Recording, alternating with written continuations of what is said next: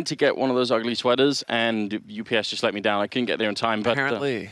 I just yeah. missed the memo completely. You like, missed the People memo. were ordering them yesterday. I was like, wait, what? What's going on here? Oh, that's a cool sweater, Moses. It happens. But look, what we do have for you is a really great matchup here. It's Optic Gaming and Hellraisers heading into it on train. A really important matchup for both teams. If they win this, either one of them, they're going to be able to make it through. And look, honestly, I actually think this is quite a smart uh, way for Optic to go. I think they might have done a pretty good job with the map here because Hellraisers already played this map twice in the qualifier. That means they will have had the demos to look at, whereas Optic have only played Overpass. So Hellraisers have much less information to have looked at. I think already Optic are going to be in a good position. They're starting on the T side and already have control of Ivy, of Brown Halls, and Hellraisers. Are they going to... I think they're moving into A main right now. This is really interesting. They're going to go and be very aggressive. This I really like. They want to try and upset things here. If there is a setup for an A kind of execute, if anybody's by A main, that's what the Hellraisers are hunting for right now. This does kind of uh, smell like an informed play coming in here. We can't forget there is a sixth member for Hellraisers. They actually have a very active coach in Junta who believes that it's the coach's role to prepare the team, but you can't really do anything if your teammates are going to get headshot right off the bat. Angel's already gone, and now Optic actually have a man advantage pushing onto the A site. This is a really big problem for the CT side. You lose a man like that early on after such a big play. Dead Fox coming in with a great headshot, follows up on Rush. He tries on Nafly. Out of bullets at the end, and Naf is going to be able to take him down for his own double kill. But now they're in the B bomb site with the bomb. This is the plan along. And look at Stanislaw. He's actually going to plant way out in the open. That could have gone horribly wrong if Zero had been there. Still a three on three here, and they're ready for the retake. Styko going to be taking down Nafly. That's a very important kill, and there's Zero taking down Tarik. All on Stanislaw. He picks up the USP, and there's plenty of bullets in the chamber right now. We'll see if he can pick up this 1v2. He kind of has to. They do have no actually kit picked up right now. There's a great headshot coming in from Stan. Now it's a one-on-one Zero right around the corner. He has no time. He has to find this kill immediately. He's going to go down. Triple kill for Stanislaw, and that's how Optic win the first pistol round. You got to give it to Dead Fox, man. He did the same thing on Overpass. Multiple headshots versus NIP. Just wrecked the NIP push. This time, he can only get two. But still, it actually keeps his team in the fight. You're thinking this is it. Hellraisers, they've got this in the bag, but they just got whittled down one after another by this player right here, Stanislaw. The 1v2 in the end to win it. And well, Optic, I think they, uh, that's, it's actually speaking to a bit what Thorn said. You know, he thinks that their T side is going to be a bit too powerful. If they're going to hit headshots like that, Hellraisers are going to be hard pressed to hang in this match. Speaking of Hellraisers, they picked up two scouts. I love this. I don't know why people went away from doing this. And Dead Fox gonna hit a headshot on Rush. That's such a great start. And I wish people would do this. I would even support three scouts if it's possible. Styko going to be going down next in line, and Angel will fall to Nafly. Zero coming out with the CZ 75. They're doing a bit of damage, actually. It's down to a two-on-two, and they're getting the kill. Bondik picking up Stanislaw, and suddenly Tarik in a one-on-two. Without the bomb, he's sneaking out. He's on 31 health, and he doesn't realize there's a guy right behind Electric. He picks up the rifle now. He's, he's hit Bondik Never turned around for it. Dead Fox, he's already got the double kill. He can definitely close out this round. And he's got full HP with the scout as well. One shot onto Tarik, and Tarik is dead. But Dead Fox, he might be gaming himself here. He's actually going to cut him off. They're going to stomp into each other, but maybe they heard some noise here. Tarik backing off just in the nick of time, and he's going to be able to plant safe for A. And he's already in position to try and cut off Dead Fox as he comes around the corner. Dead Fox, is he going to be ready for this with the USP? Of course he is. There's the clutch. Dead Fox, he is so good for Hellraisers in this qualifier. It's nuts. They just can't, they can count on him for days. In the match versus NIP, he, keep in mind, he's only been with the team for a very short period of time, a couple of weeks. This guy's already becoming the star player for Hellraisers. Yeah, absolutely amazing. And again, the pressure is really high. This is not some random online game. They are trying to qualify for a major tournament. They're playing in a big studio here in Atlanta. There's a lot of pressure on you when you're playing like this, but he doesn't seem to be affected by it at all, which is very, very good news for the Hellraisers squad. That ties it up at 1-1.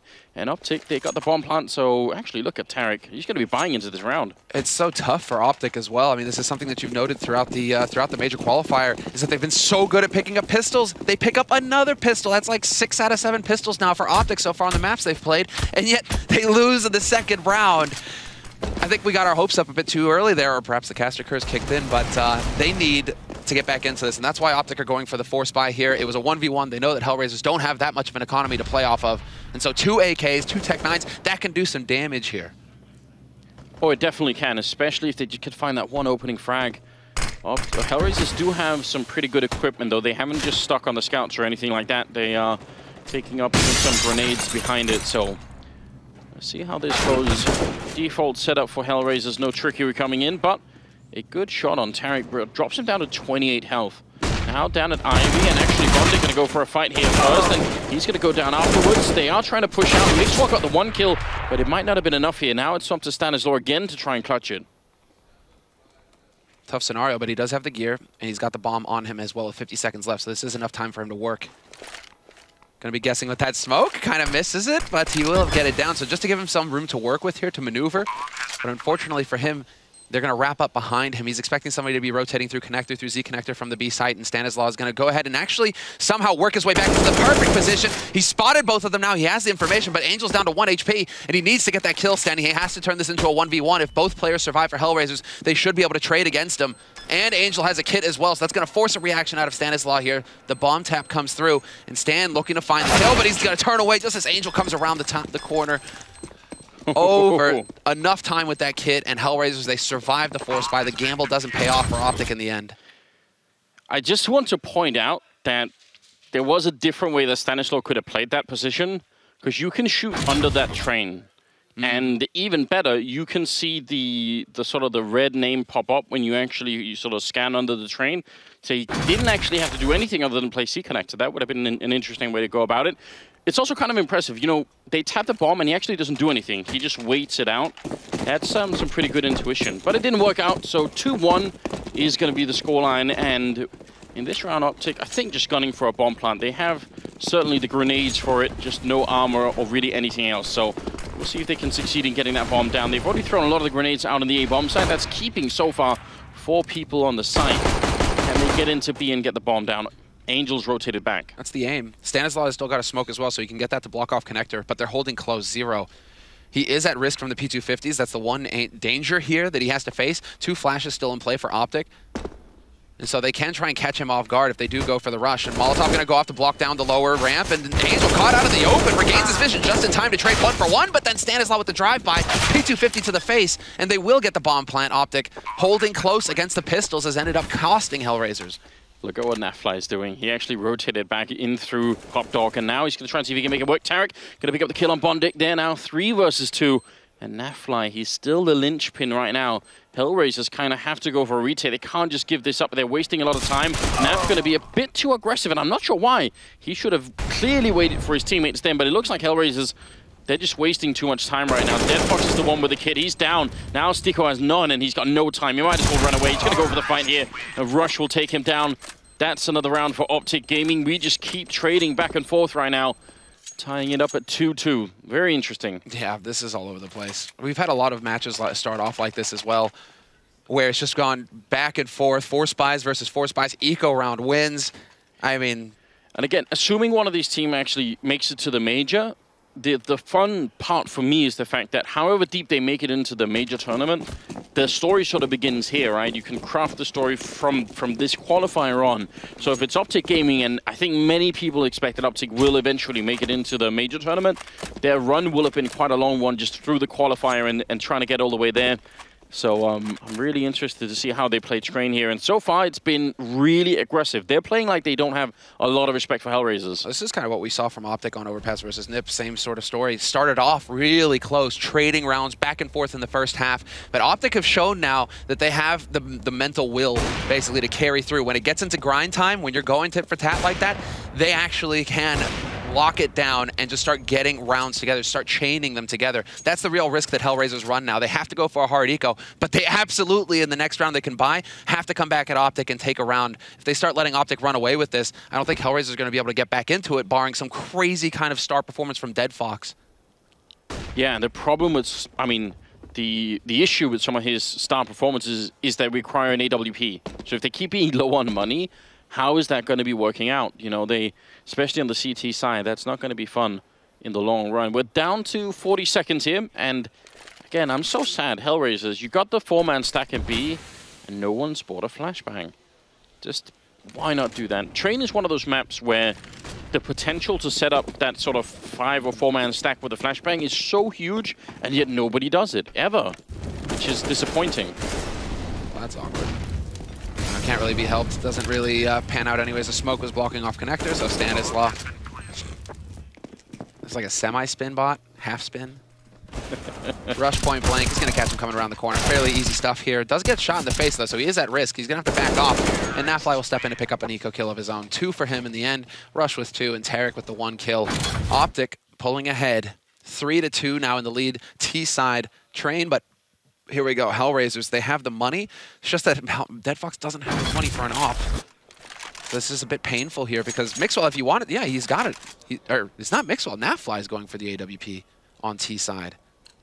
Yeah, and I mean, I feel like they swapped that out, sort of how, whatever they feel like. Mixwell yeah. just, I mean, I kind of like that about him. He's he's doesn't feel any ownership over that position. He will just give it up if if someone else feels like it or if Nafly feels like it against him. Oh, Nafly, a shot that probably he shouldn't have missed, giving a second life there to Angel, who was almost going to get robbed. And that was the early aggression. Now they they pretty much have to slow it down and just see what happens. Mm -hmm. There we go. The trade back probably going off a spawn, basically, with that AWP. So Mixwell now going to have the op and play, and still so much utility here for Optic. They've done a good job of actually getting Hellraisers to throw out some nades early on, so it's just a matter of making more noise like this. But look at the setup here from Hellraisers. Two players holding Pop Dog. That's not actually very common. We don't see that too often. Puts a lot of pressure on Dead Fox over by Ali, because he's on his own. If anybody comes through, he's going to be in a, in a bit of a tricky spot. It's also interesting because Styko, who's looking at main, is going to be so hard to flash, whereas you could probably land a pop flash on Bondik, mm -hmm. but Styko's already turned, so that could be... I would like to see someone try and go down. Give, give us a chance, Rush. Do it for science. See what happens. He's setting up for the pop flash. Is he going to actually go behind it? The, oh, the Molotov? I think that was failed a little bit. He, he, probably did want to do something with it. Instant smoke to cancel it. Nafly goes down, but so does Styko. And now Bondik out by Electric with two health left. He actually gets the Molotov in. And that's going to lock out some of the players. They run through. Stanislaw doesn't care about the Molotov there. And now there's Zero left alone here. He's coming in all the way from CT spawn. He's just going to run away, not even want to try it. That's maybe not the worst idea. That's so sick from Optic. That's the kind of play that is going to get you rounds is when you know what needs to happen. You have your teammates already pushing out through A main. If you get slowed up at Pop Dog, your teammates are just going to get slaughtered. They see that smoke. They don't hesitate for a second. They push right through it at Pop and start to get into the fight to support the players coming out from A main. Optic showing no fear and more importantly, just playing as a team at that point. Very sick stuff to collect a very valuable round here for Optic. This is going to put them up 4 to two, and Hellraiser still can't seem to get the money together. They can't get their feet under them right now. It's going to be another round of pistols for them. Yeah, and what's really frustrating is just because of how this, this sort of first half already has played out, this is only the third loss in a row here for Hellraiser. It's not even like their, their round loss bonus is massive at this point. Um, yeah, it's just really, really weird, isn't it? Because if they, at least if it had been four straight in a row for Optic, then Hellraisers would have been, you know, slightly better position in, not in this round, but in the upcoming one, they could, they could have got a little bit more out of it. Seventh round coming up, and Optic already off to a good start here. Dead Fox is doing well enough, Styko's doing well enough, um, and on the other team, it's Tarik actually who's stepping up. This is this feels like yep a tactical timeout used here by Hellraisers. So that was a point that I was trying to make earlier that I really loved. that there was an interview done by HLTV uh, just a couple days ago with Junta, the coach standing behind Hellraisers. He's got a lot of history, but what was fun to see is that he thinks that the Valve ruling is actually quite fun and interesting because he feels like it puts more pressure on the coach, that it doubles down on the responsibility, that it's the coach's responsibility to prepare the team, that if, if, the, co if the team isn't prepared and fails, it's entirely the coach's fault the way that he sees it. So his role right now, he's got a bit of a buddy system going with Angel. Angel's calling in game, but the tactical side is very much divided divided between the two, and Junta's very involved on the tactical side as far as coaching is concerned. He's definitely not a cheerleader. We'll see if he can do enough in terms of this one timeout. I mean, it is a pretty sort of uh, compressed amount of time you have to try and deliver any kind of information to your team. You know, you got to give that input, something that you have maybe noticed, a pattern you've noticed that maybe your teammates haven't or your, your team hasn't. Not a lot of time to discuss anything with. So we'll see if uh, this short timeout, I mean, they don't have any weapons apart from the one that Zero saved. So probably the timeout is more for the upcoming round. They already tried the aggression in A main. Train is a map that allows for aggression a lot of different places. So I'm wondering if they're going to try more of that. If you notice, they've had, in for all these seven, six rounds, they've had a completely passive hold on B. No one's tried to push up or to look in there. No one's tried to push the ramp or anything like mm -hmm. that. So there are potential changes that can be made here to the Hellraisers defense. Certainly. yeah, the, as far as the aggressive options are concerned, Train is one of those maps where CTs have a bit of room to work with. Dead Fox getting a bit of a flank, but he gets shut down by Naf. And, well, Zero gets boosted up and connected, but that's not really going to work for him. Angel does recover the M4 off of his corpse. It drops into his hands, literally, but there isn't a whole lot that he can hope to do here 1v4 with no Kevlar. Well, just 1v4, period. Even with Kevlar, he'd be in for a bit of a tough ride. So quick plays coming in here from Optic. I mean, they obviously know exactly the kind of situation economically that Hellraisers are in, and they're, they're just getting those feel-good rounds and show no respect. They're, you're up against pistols. Just bully them and make it even more difficult for Hellraisers to get into it in the next round when they'll be able to buy.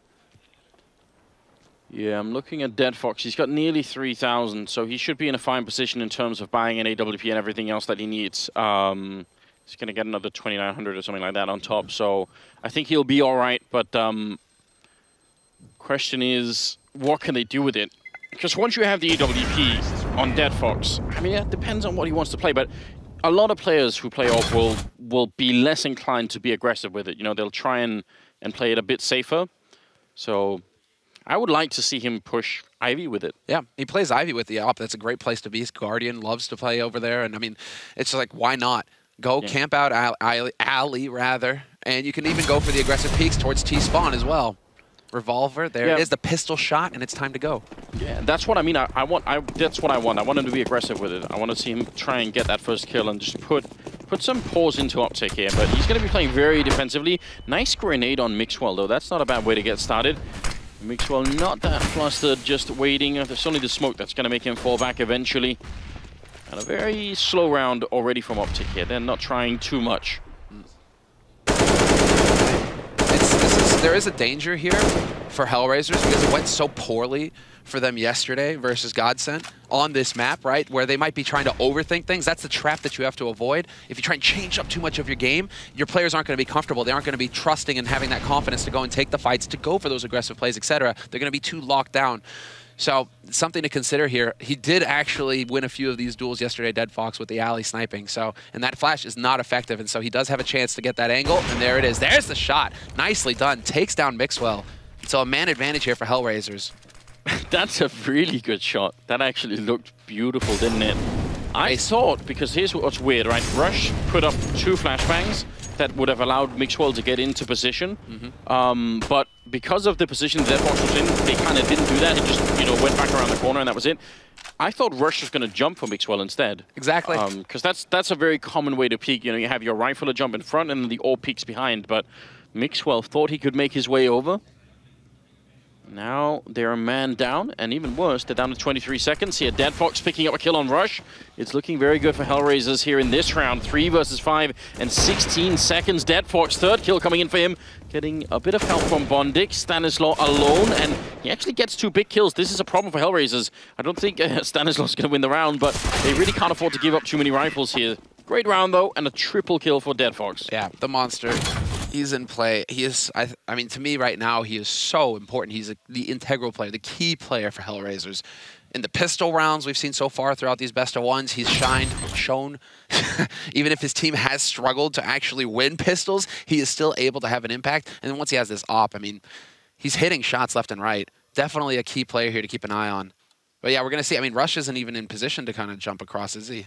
He jumps away, and Mixwell just decides to be spontaneous. So yeah, tough call there, but it ends up costing Optic in a key round. Five to three. Optic still in the lead, but Hellraisers can breathe a sigh of relief. They didn't let Optic just run away with it just yet. The thing is, that jump from Mixwell would have worked if, if Dead Fox had been playing on the other side, on the but right. he didn't, yeah. Now they're going to be going for a quick push out into Yard. They've got that classic wall of smokes that's down, and Mixwell with a really good Molotov landing up at the sniper's nest there just to try and force someone out. Did it actually bounce off? I think maybe it did. Bondik is still up there, so a failed Molotov. That's not how you want to go about it, and they've lost Stanislaw and Mixwell in the meantime and Zero in position to catch Rush if he tries to jump down. That's such an easy shot to hit, even if it's a mid-air one. We've seen it time and again. Hellraisers coming back into it. We had the tactical timeout. Now they've mentally adjusted, and they're winning this easy double kill for Angel, and now the defuse is going to come in, obviously. Hellraisers making it to 4-5 here. It's like Christmas come early for CTs when you're retaking. It's like, oh, there's AKs everywhere. Yay. Yeah, get all your presents, get all your party favors. I think we're going to get the Kobe nade here. Yeah. Perfect. Yeah, that actually is just really well done. That was dead on. Can't get much better than that. Nicely done. Five to four. Hellraisers one round closer to tying it up. And well, I mean, obviously with how well those first three, the, that three rounds chain for Optic went, they still have the money to buy. They had the bomb plant with the bonus money in the last round as well. But now is where their money starts to get a bit tricky. They desperately need to get a bomb plant in this round, at least Optic. If obviously, if not win it. But for Hellraisers, they've got to be feeling good now. Things are starting to fall into place. Dead Fox definitely hitting his shots. And I am curious to see. I mean, so far he's been fairly effective just holding the, the angle passively, but will he go for the aggression at Ali? Will he try and go for some kind of push towards T-spawn? Yeah, I mean, it's always, it's really difficult and it, it's, it has to be intuition based when you decide to switch it up. That's a really powerful grenade. I think he actually almost was a bit of collision with him there and that dropped him down to uh, 42. What I'm concerned about is where did all of Hellraiser's nades go? Look at this. We're a minute 15 into the round and they have four flashes left. Yeah, that's definitely mismanagement because they had the money to buy them, so they would have had them from the beginning. Oh yeah, they had a full buy. That's a, a big a big misstep there for Hellraisers, and they're going to need them now because the push is coming through into Ivy. Styko going to pick up the one kill. Dead Fox with a shot, and he falls back around the corner. Rush takes down bondik. How deep in the around the corner? They're going to bring in Tarik coming in from Pop Dog. That also drops the bomb though. And Angel trying for the spray here. It's a two-on-two with a pretty big health lead for Hellraisers. They still have a really good chance of taking this round. And as soon as Angel spots that bomb, this is it. This is where they kind of need to tighten up. Zero a little bit worried about the flank, but he's going to be able to watch towards Ali. And Angel, he's covering the bomb from the bomb train. This is a terribly difficult situation for Optic to find themselves in now. As it comes down to Hellraisers making a mistake, Mixwell hoping exactly that somebody's going to push aggro, trying to look for info, and that he's going to get a free kill out of it. He might be able to take out Angel here, and he does hit the shot. Angel just out in the open. And that's that's the issue right there, is that now it's all on zero in a 1v2. He has the angle on the bomb, and there is no smoke to block him off. The Molotov is going to be used to try and buy some time. But this, now how does Zero actually get in here to retake? One versus two. Flashbangs are all used, and he turns the corner just as Rush walks out. That's going to be a triple kill for Rush, and a one round for Optic Gaming. Hellraisers, they can still buy, but still, that's a tough round to give away. Here's what I don't understand, because you're right, they saw the bomb. If it were me, I would have put Angel in Zero's position, then I would have had Zero flank back to Pop Dog instead, because they know someone has to go and pick up that bomb. Mm. And they, I mean, you had time to do that. They knew where both the players were.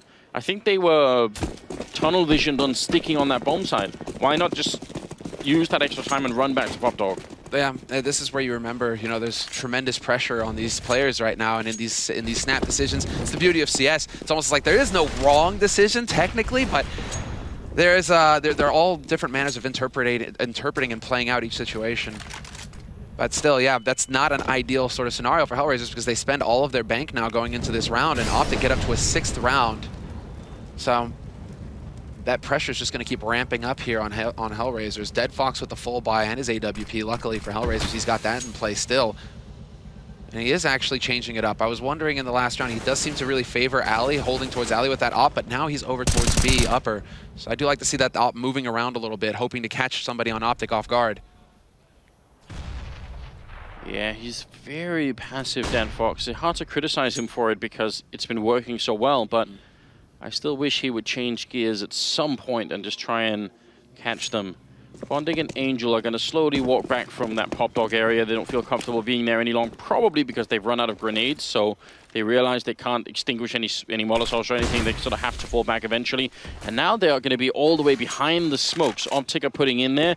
And these, they are, these are fairly classic smokes uh, between the two trains and also by the electric box, so they're going to buy themselves some space to work with. My issue is, again, we're really low on the clock, down to 25 seconds. Tarik, that smoke is even going to evaporate as he makes his way through. They need a kill right now. Optic, otherwise that bomb plant's not going to happen. bondik picking up two big ones, but then comes the return. Mixwell and Tarik, and suddenly two on three here.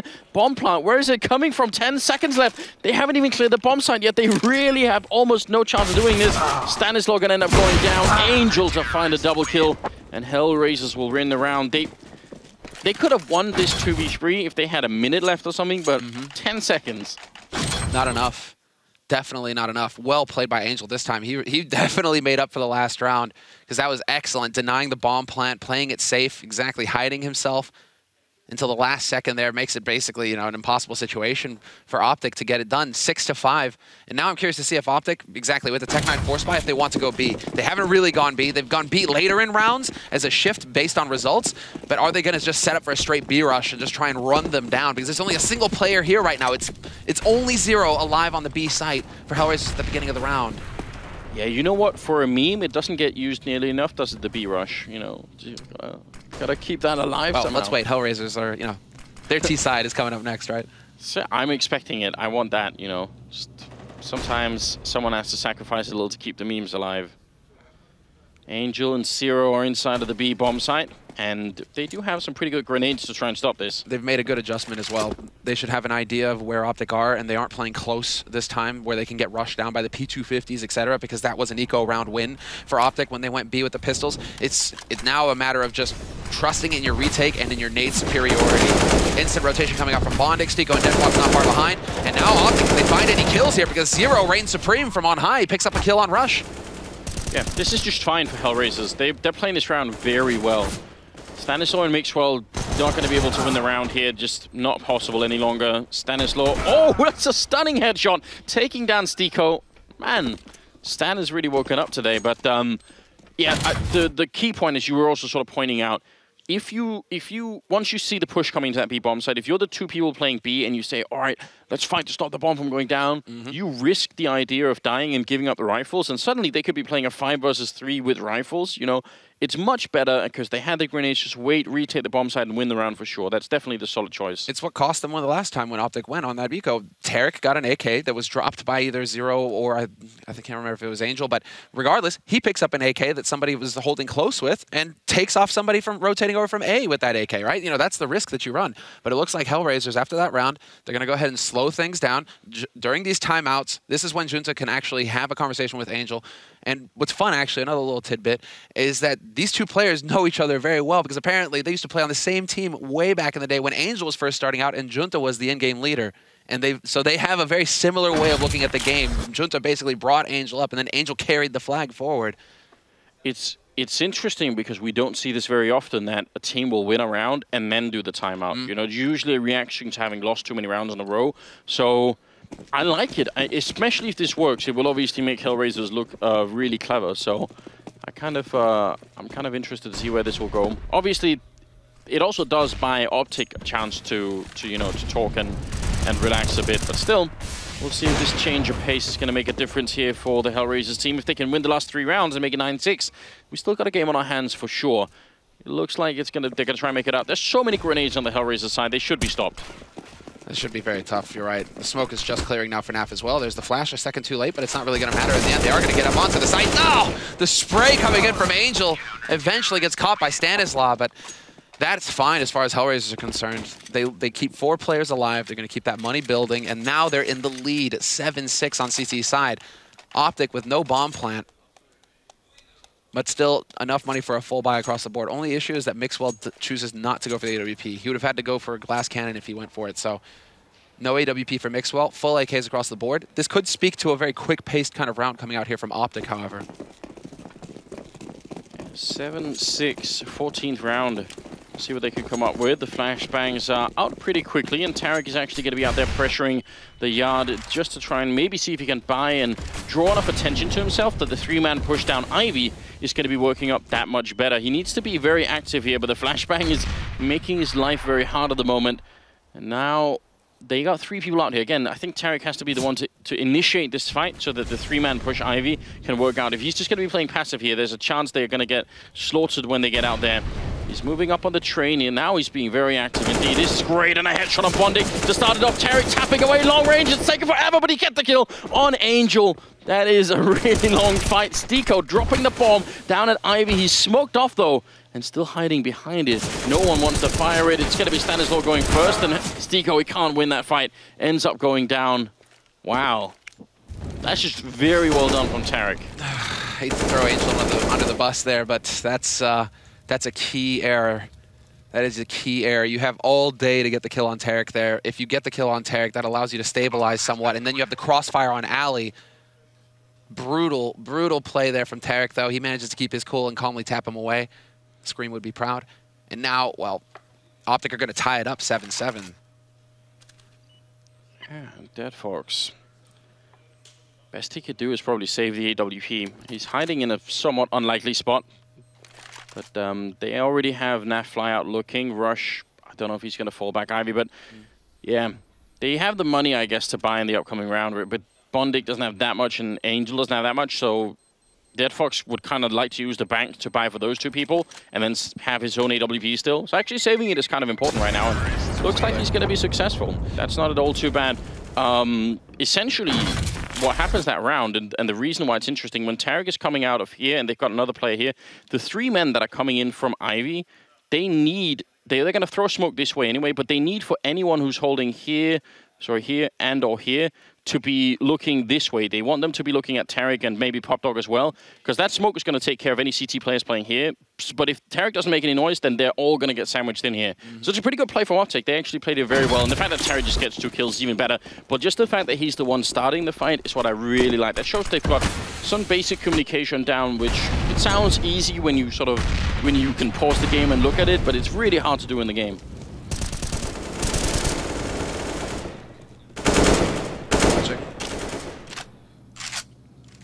Have to be a little bit careful here again, Hellraisers. But there's been so little action on B. I'm watching the B defense right now. I mean, Nafly for once is actually going over into Brown Halls for Optic to make a little bit of noise to start getting some map control over here. So that might throw Hellraisers for a little bit of a loop because this really hasn't happened much so far in this first half. So Zero and Dead Fox, and Dead Fox once again playing up with that op. He's going to be hanging around. A little bit of a spot there from Angel. Takes quite a bit of damage, so he's got to be careful. But nobody's in position to trade him from main right now, apart from Rush. But Rush is holding passive because he doesn't know if anybody is in main. It's a bit of a standoff between both of these teams, and we tick past the minute mark now going into the last round of this first half. Optic have shown us already multiple times that they don't mind pushing in the last 30 seconds. They feel comfortable doing that, and it's only backfired on them once when they had that 2v3 with 10 seconds left. This time, a bit quicker, 40 seconds left, and Bondik with the early fight taking down Rush. Gonna go for Stanislaw as well. I have no idea he wins that fight. It almost takes down Mixwell. Bondik playing really well at the moment, but Angel and it's also fallen in the meantime, so three on three, even with a health advantage here. Hellraisers, they need this round desperately. Optic already have a very good first half on their hands. If they get up to eight rounds, I think it's going to put a lot of mental pressure as well on the CT side. Dead Fox taking down Terry is a great start. He was the one with the health anyway. Now Mixwell in the corner flashed and isolated. Where's the backup? Naf coming in. He gets the one kill. Mixwell can't follow it up, and Dead Fox will clean up that round. We're another triple kill. He's top fragging at 14, and it will be 8-7 in favor of Hellraisers. Barely, but still, bit of a win at the end just I chaos rounds again. Just so chaotic at the end, really, where Optic, this is where they kind of excel. This is how they've seen some success, is their ability to be explosive and just run onto sites. But I have to give it to Bondik. If it isn't for Bondik getting the two kills there for Hellraisers, I don't think Hellraisers are able to come back into this round because they weren't able to get a pick early on to stop Optic from getting onto the site. It was just Bondik doing so much work, with Dead Fox obviously getting the triple afterwards. So between those two players, that round, it allows Hellraisers to have an edge going into the next half, but it's such a fine margin. I mean, 8-7 going into T-side train. It, it, that's not a very solid scoreline to be starting your second half with if you're Hellraisers. No, definitely not. And especially because you brought this up when we started the game, the rec the pistol record for Optic Gaming is so overwhelming that there's a there's a good chance historically that they will end up picking up the pistol round here. And if they do, then things are looking really bad. I mean, it's remarkable. Optic are six out of seven on pistol yeah. runs right now. That's a that's a crazy score line. That is super consistent. Now, I mean, there's something weird that was going on here because the, the, the players they are just uh, they are just all setting up right now. But I'm I'm wondering. Oh, we got a tweet coming in here. That is, is that from an airport or a bus? Oh, Metro. Oh, Metro. Excellent. That's some real dedication. I love it. That is sick. Training them early, to uh, become pro players. Well done. Uh, I mean, is that that's Danish, isn't it? Um, it could be. Could, could very well be a Danish last name. Here's what I'm. Uh, here's what really worries me about Hellraiser's CT side so far. They played pretty much that whole half mm -hmm. without having any information placed at all. No one. They pushed once into A main. That was it. Otherwise, they stayed away from uh, the Ivy push, they stayed away from the Brown Halls push. They just played reactively, just waited for Optic to get the grenades in, and I don't think that's good enough. I think you need on train, if, if it's not working, if your defense isn't working, then you need to have more information about what's happening, and they never got it. No, it's fun because this is the identical scoreline that they had at the end of the first half versus Godsent yesterday. And Godsent later on, just in the second half, just shut them out. Godsent CT side, Hellraisers didn't, didn't have an answer, weren't able to get into the second half, get things rolling, and they got rocked 16-11. Yeah. So Hellraisers, there's this pressure on them now that they really have to kind of change up and step up and start hitting headshots. Can't only be Dead Fox, you know, who's running the show right now. Stan going to be falling back. In fairness, though, uh, JW did also lose his mind in that game and just decided to kill everybody, which yeah, is great. he had his moments for sure. JW, it was good, man. That we've had multiple moments where we saw some vintage, you know, yeah. perfect JW come out this tournament. Oh, it put a smile on my face. Godsent qualified already. So that's it. They're going to the major. Oh, Rush opening up on Angel. Not the best start for Hellraisers. They need this round. And Tarik, he's going to be falling back. Doesn't take that much damage. The bomb is being attempted right now. Um, it's going to go down, but they're still in the 3v5. These clocks need to come into play, and it has to happen right now. The first engagement on the retake going through. Rush picking up one more kill, and that's all going to be over. Nafly with a double. Rush with the triple. That's going to be it. A fight for the defuse, in fact. See, Rush is so disappointed. You get those extra points on the scoreboard? Yes. Get those extra points on the scoreboard. It is true. Look at the consistency here on uh, on Optic Gaming as well. I mean, Mixwell is at 8 kills, but otherwise it's 12, 12, and then 12 and 11. So they're, they're just all more or less tied up for score here. It's pretty impressive. And it's not like on Hellraisers there's anyone that's... I mean, Zero's a bit behind, but it's not so much that you would say, you know, he's the reason they're, uh, they're not doing too well here. It is a tied scoreline, and there was a bomb plant. Yeah, as far as um, actually getting things going for themselves here, Hellraisers, that's not what they needed. Because they got, they again, how, you know, speaking about how good Optic are with their pistols, yet another pistol to them. Hellraisers have just been failing utterly at pistols. They aren't, they don't seem to be able to pick any up. This was a key thing, actually, when they played against uh, mouz on train, is that they picked up the T-side pistol. And so Hellraisers had the strong start, and they were able to carry over from there. If they don't get that now, I've, I've, I'm really worried for their T-side if they're going to be able to get it rolling. Especially with this format, the, when you're playing best of ones, the ability to win consistent pistol rounds is so important. I mean, you you give yourself such a big chance of winning the overall game. You're the MVP at that point. Yeah. It just makes your life so much easier getting, I mean, what should be, what, six rounds, basically? Five to six rounds every map? That's huge, huge. Oh, Tarik doesn't have a grenade. Actually, only Stan has. They don't have any armor, so I, I oh, he's to bounce right in the face of Styko and drops him down to half HP. If they had more grenades, this would be fun. Stanislaw is going to get overrun, and the bomb is planted. Still should be a fairly easy round for Optic to retake this. Just because of the lack of armor, it makes it very difficult to stay alive, and they are getting chewed up pretty quickly. Still, this is just a huge win for Hellraisers. They have done a very good job already in this round. Now coming in from behind Angel. Did he have a knife up for a minute? That's very ambitious. Still, bomb plant, two kills, perfect round. Only a single UMP kill as well, actually. So very solid stuff. Hellraisers, they kind of dodged the SMG player. Didn't want to give him too much money going into this next round. And more importantly, Hellraisers with two bomb plants. So that's there. There we go. Now we're actually starting. If you're not winning the pistol, you're getting both bomb plants. You're going to have good money going into this uh, next round for the buy. And so you'll have all your options open for you. You'll have the AW, you have the AWP if you want it, bit risky, but more importantly, you have nades and plenty of them. So now it comes down to which strat Angel wants to go with here, something that they've practiced and they know they can get the job done. Preferably something that doesn't involve knifing people. I just love it. He saw the chance for it. 9-8 is the scoreline here, slightly favoring Optic Gaming. I don't understand. How does Angel not spend the last $500 that he has in the bank on nades? Okay, never mind. Rushton just wanted to get out there and fight with the AK, and he doesn't win that fight, sadly, which means Rush is going to be perfectly happy to sit back. They've got four men already in this A-bomb side. This is a very hard push for Hellraiser to make happen, especially with all the counter grenades coming out. That Molotov in the corner gonna maybe lock Styko or Dead Fox in a bit. But look at Bondik. He picks up two kills. He's just charging in here. Can he get another one? He gets a headshot on Rush. Bondik a one-man army out in this yard. And now can he pick up the bomb as well? Nafly's moving in right at the edge of the smoke. Bondik should be dead ages ago, but somehow he's still doing the work for his team. And they got over a minute left here. Finally, he goes down to Stanislaw, but a two-on-two now. What a comeback into the round.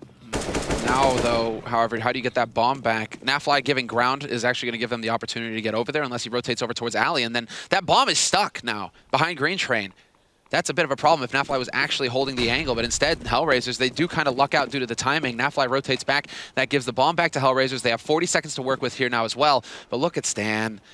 He's thinking the long con here. He's already going to be rotating around, changing up the angle. The timing is going to work out for him to come out through Pop Dog, and they're just looking to sandwich onto Hellraisers here onto the site. This could be nice for Optic if you remember, this is what I was trying to point out yeah. in the last situation we had this two on two. I think it's a really good idea. The one problem is Hellraisers, they just have another Molotov. They just choose one, but they have another one. So as soon as Stan, if he doesn't get the kill immediately, that could be trouble. He's going to pick up one there. Now a lot of trouble with Zero. He gets the headshot and turns around. He still has the Molotov. There's no reason for him to fight this right now. He's going to go for the fight anyway, and he hits the headshot through E-Box right onto Nafly. Very interesting. He could have played it for the Molotov, but he makes the 1v2 work anyway. And this is Bondik. Obviously, this is really his round it it should have been done at the time when when they pick up the first two kills, but somehow Bondik brings it back. Wow. Unbelievable. And, and it is hero plays. Feels like with a lot of these teams that they are heavily reliant on individual performance, on, on just players coming out of nowhere and blindsiding their opponents. Bondik gets three kills, and in the first half he had a couple of instrumental rounds where Hellraisers were only able to keep it together because he was getting these double spray downs. So, I mean, Hellraisers somehow, they make it work. Tied 9-9 now. And well, Optic are on pistols in this one, so Hellraisers, they managed to recover somewhat based off of two hero plays from their players. Zero with the 1v2 clutch. Look at this, they're actually doing it. They got Tarik with the flashbang out in yard and everybody else here. So if Hellraisers get deep, deep enough into this A-bomb site, by the time they get the first contact, if that flashbang is effective, this could trigger some really good kills for them. I love this from Optic. Even if this doesn't work, I'm still a huge fan of how this is uh, essentially thought out. So Let's see. They're going to be pretty deep in because they will be Mixwell, Rush, or Stanislaw that they'll engage first. Or they're actually wrapping around. Wow, Hellraisers. They're beating this setup with pure positioning. Yeah, easy kill there for Angel into Nafly, who's turned the wrong way. Now Tarik, he's not even going to be able to use that flash, really. We'll be able to trade the kill and take down Angel, but it's still a man advantage here. Rush surviving with one HP. Flash goes out, and it does actually buy quite a bit of time. That was the design flash. You wanted to try and get it right in front of A-Main and Pop Dog it works, buys a little bit more time here, but really just the superiority in gear is going to carry Hellraisers through this round, and also some quick positioning there, quick thinking from Dead Fox to get that bomb planted over on the B site. Yeah, I mean the whole the whole idea is you want them to be sort of deep in the bomb site. You want them to be committed to the A push so that they're sort of all out there and exposed, and mm -hmm then you just you I mean you there's no way to design a flashbang that flashes four or five people, but you just hope you just sort of pray that you can make it work because if you can, that's an easy couple of kills. But that's what I was looking for, right? Okay, Tarik has the flash, but Tarik was playing Bomb Train. It's not like he was playing far back in alley, far back in back line where he's going to be able to flash once they commit. On Bomb Train, how do you get the flash out and have it effective unless you're just underhand throwing it, right? It's so hard to do, just positioning-wise. I would even settle for throwing it straight up into the air, no underhand, just straight up there because as it's going up in the air, they have two choices, right? They can either try and fight the people that are now coming around the corner, or they can try and turn around the boy being flashed. But, I mean, you, you can't expect to win the round based on it, but you can get a couple of kills, right? So, I, I would settle for even that. But um, I think the fact that they went around uh, the back just made it really rough.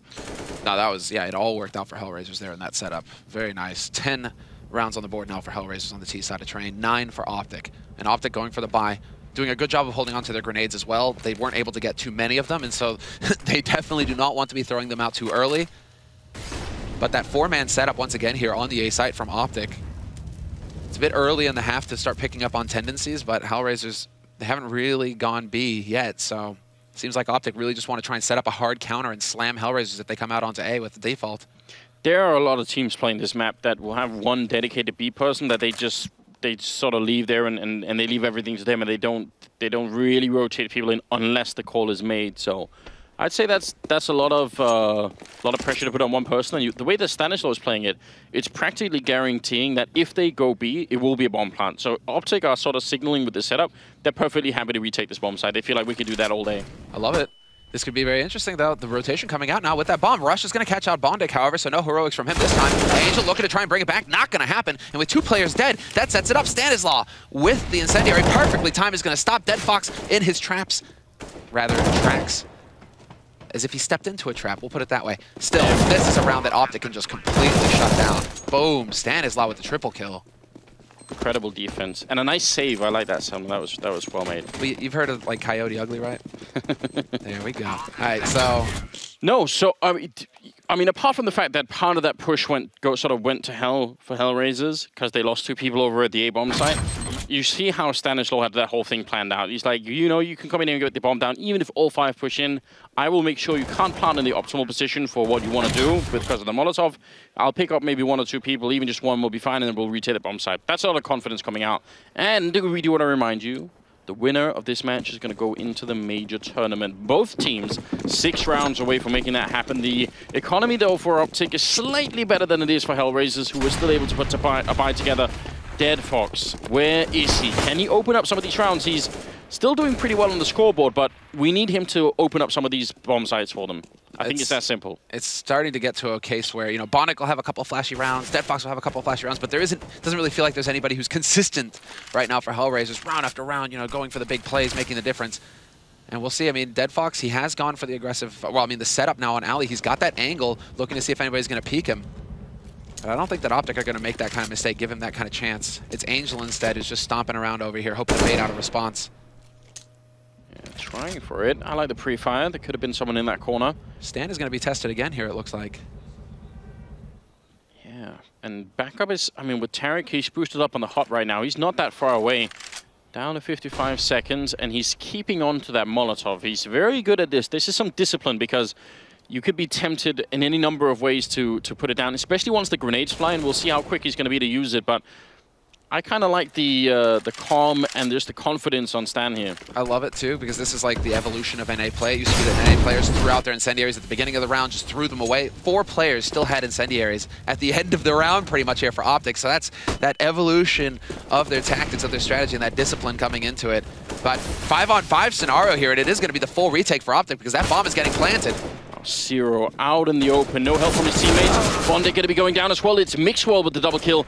And the bomb is finally being planted. But look at the charge in. Stanislaw just speeding the timing and Tarik helping out, taking down Dead Fox. It's all on Angel. He's going to get shot right in the face. Stanislaw taking him out. And again, the, I, if you are this confident in your ability to retake the B-bomb side, mm -hmm. then why do anything else? Uh, if, if anyone in if Optic make the major tournament, anyone who's going to play them on train should make a mental note right now that B-bomb side can be taken, but you have to have a plan afterwards. And this is working really well. This push in as well from Stanislaw is really good. He, that, that is ballsy. Yeah, he's, he's playing a really good mental game right now. He's definitely not the strongest aimer on this team, but his intuition is quite high up there right now. All right, well, third tactical timeout used here from Hellraisers. And after a key round like that, the only issue being, unless they go for some kind of Tech 9 full buy, is going to be a bit tough for them. This is going to be another round of eco coming in, or half buy at least. Go, Hellraisers, go. Look nice at this. setup. Yeah, and Virtus.pro and Na'Vi are already in the major, so he's got the posters ready for it. He's even got the old Titan sticker. Sweet. OG fan right there. You know what I found at home? Uh, in a box that I had forgotten all about. Um, I found DreamHack uh, 2013 stickers, the one that Valve were giving out. Yeah. The, I found like a little box of those, so I'll I'll post a picture at some point. I don't I don't think anyone remember that they made those. That was before they had the pins and everything. They, they, yep. the little stickers they handed out. Very weird stuff. Styko low. They don't have any armor. I'm not sure there's much to talk about this round. Unless we get some some Deagle action, we're just gonna we're just gonna you know relax, see what happens. Yeah, and start to speculate. I mean, right now, that's exactly what Hellraisers wondering. Okay, we've gotten slammed twice on B now. Our A is kind of reliant on somebody going ham we don't really have something to fall back on that is working consistently that we can count on, right? Like a strategy where everything is falling into place nice and neat. It seems like every time for Hellraisers, it's boiling down to Bondik or Dead Fox going nuts. And so that's tough if you're Angel and if you're uh, if you're Junta right now because you can't really just point and say, oh, this strat, this is what we're going to do because it works every time. So it's with maybe a couple of adjustments, right? They don't really have that. So yeah, Hellraisers are in a very tight spot, similar to what we saw from them earlier on Train in this tournament that T side right now, they're struggling to find a solution. Yeah, they. I mean, they absolutely are. I I still think I don't know. It's how easy it is. I mean, we obviously have the minimap, so we know really well what the B defense is like. Yeah. Uh, it could be much harder for Hellraisers to read that it's that it's mainly just Stan holding over there alone for a long time. But if they figure that out, I still think there are lots of ways they can they can try and abuse that. The problem is when they go for it, Hellraisers, that B bomb site, they use almost all of their grenades to get in, and then Stan is fine with that. He's just going to hang back for a long time, but they don't put any pressure on them, on him, you know. So they, they allow the full rotation to get in there while they're just hanging out in the back, obviously just waiting and saying, that's fine, you know, get the bomb down. We'll, we'll just regroup in the B bomb site and then we'll retake it.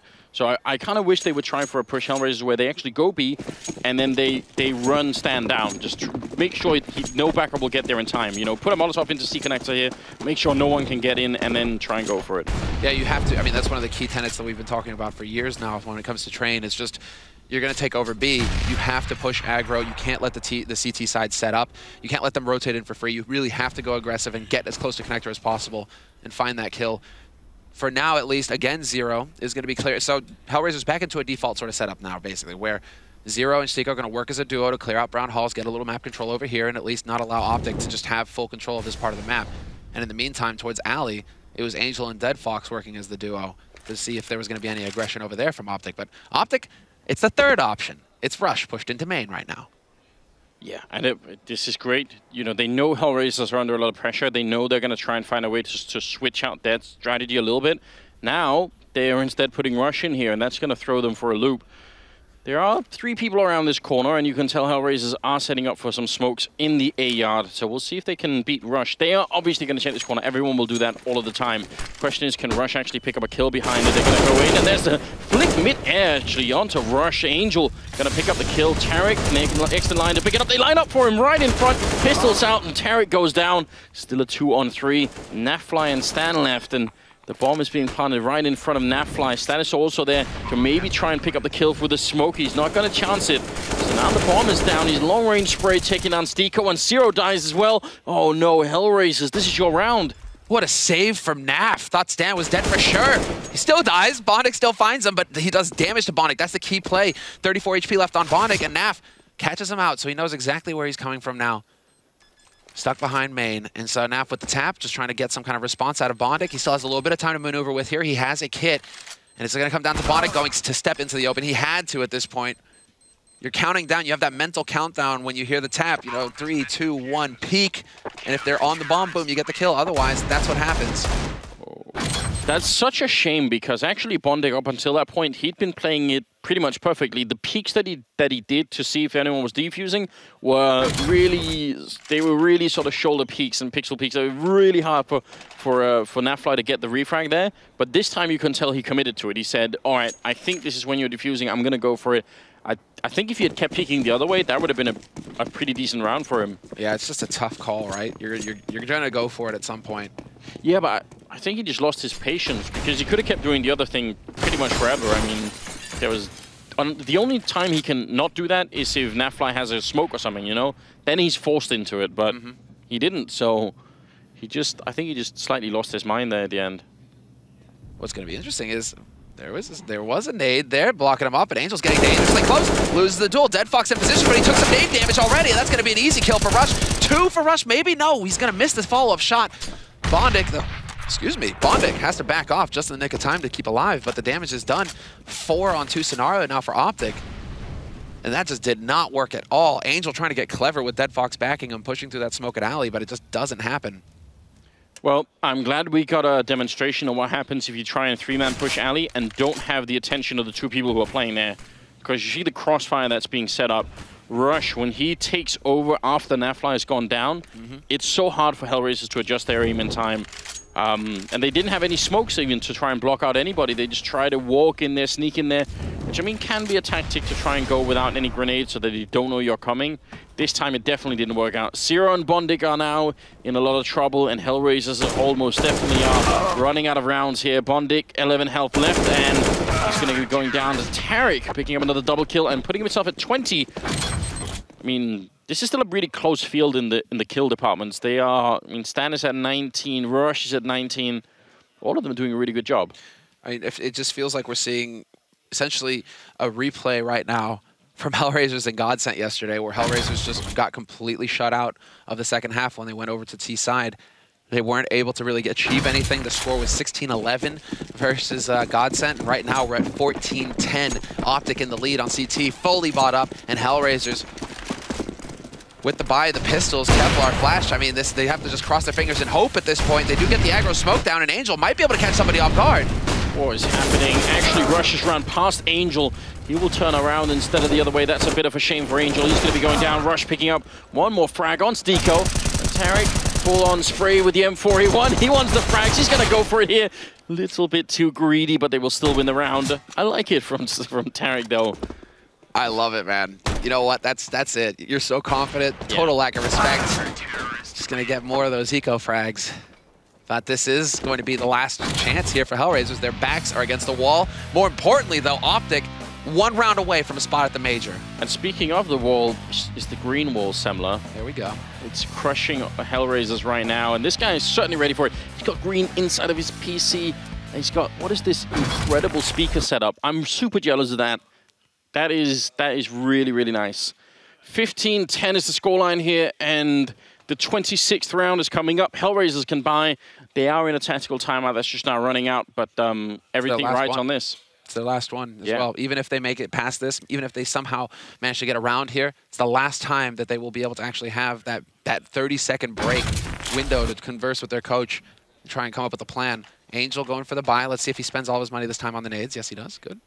And, And If Optic win one more round, they don't just win the match; they go to the major tournament. exactly. This is, I mean, for the, for these guys, especially considering the really short run they've had to, I mean, being one of the the best teams in the world right now. They're really doing a good job beating some top level teams, taking out what NIP yesterday, and uh, they beat Astralis on LAN in the past. Yeah, this is really impressive. We'll see how much further this is going to continue for them, but um, they've got five rounds through this, five match points. it's something about being in these studios, Anders.